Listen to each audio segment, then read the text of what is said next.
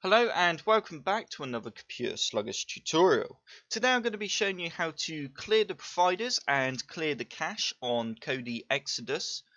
The reason you want to do this is on occasion um, you might find you've not got many streams available, many providers for what you're trying to watch.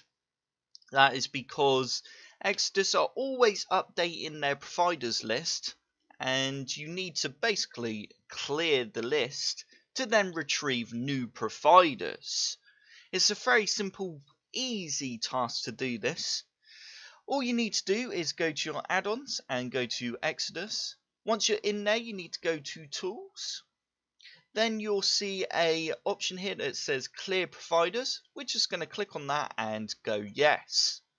Once you've done that, you'll have a process complete in the top right hand corner, and you can now move on and clear the cache by clicking on, that and going yes again.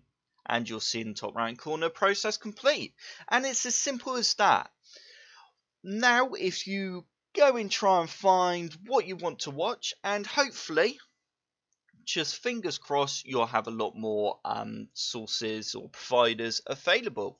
I hope this tutorial helped. If it did, hit the like button below and subscribe for more computer sluggish tutorials.